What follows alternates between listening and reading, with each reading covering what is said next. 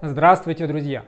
Сегодня я решил выпустить небольшой внеочередной видеоурок, посвященный очень интересному обновлению для замечательной интеграции от Alex IT Xiaomi Gateway 3.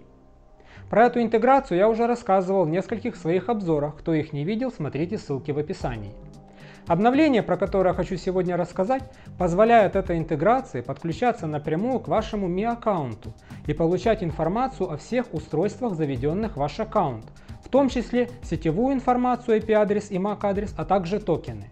Токены, напоминаю, нужны для подключения ваших устройств в Home Assistant.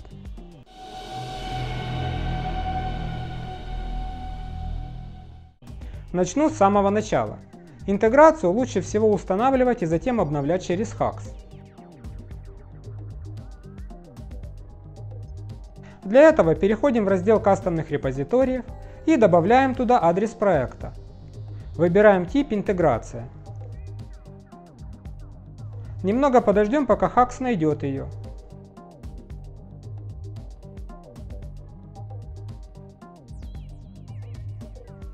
После этого устанавливаем новую интеграцию. На момент этого видео актуальная версия 0.6.1.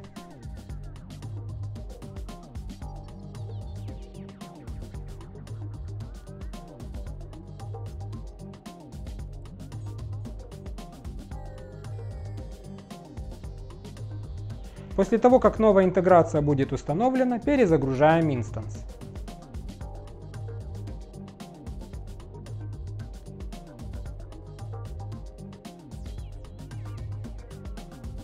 Ждем, пока Home Assistant полностью загрузится. Интеграция уже установлена и нам нужно ее добавить. Идем в настройки, интеграции,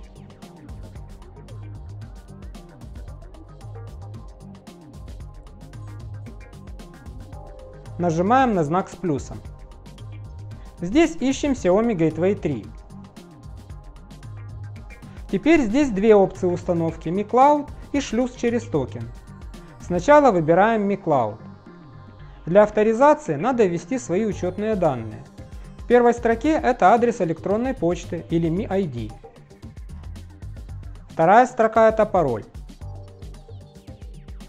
Третья это сервер, на который заведены ваши устройства, в моем случае Китай.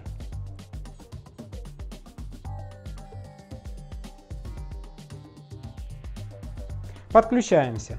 Я, кстати, использовал для подключения Mi ID вместо почты. После установки в меню настройки интеграции загружается список всех ваших устройств, заведенных в аккаунт. Выбрав любое из них, получаем сетевую информацию IP и MAC адрес, а главное токен. Особенно это будет удобно для пользователей техники Apple, которые не имеют возможности установить модификацию Mi Home от Waves или подобную ему, где есть информация о токенах.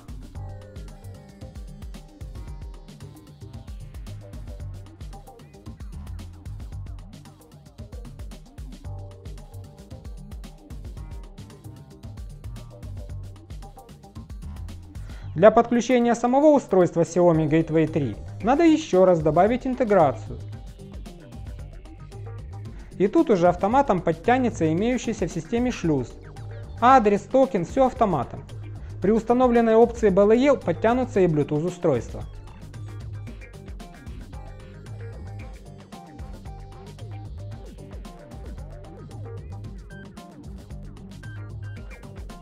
Изначально могут подтянуться не все имеющиеся у вас Bluetooth датчики и не все сенсоры, которые у них есть. У меня сразу подключилось всего 4. В некоторых есть вся информация, в некоторых частично.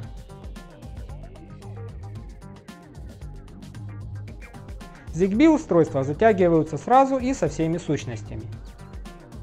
Но переживать не стоит, через некоторое время появятся и оставшиеся устройства и данные по всем сенсорам.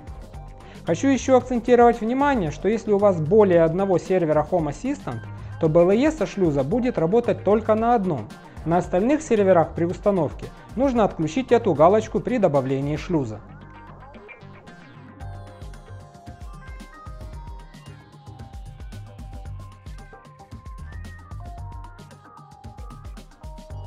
На этом все. Если у вас остались вопросы, задавайте их в комментариях под этим видео. Если видео вам понравилось, ставьте лайки. Если вы не хотите пропускать новые выпуски, подписывайтесь на мой канал.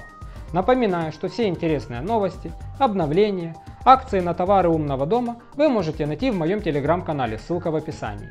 До свидания, до новых встреч!